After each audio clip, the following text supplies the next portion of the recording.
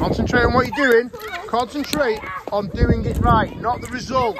The result will be perfect because you're doing it perfect. Take your time. Well done. Take your time. Not two at a time. Do it exactly as the rules you were shown.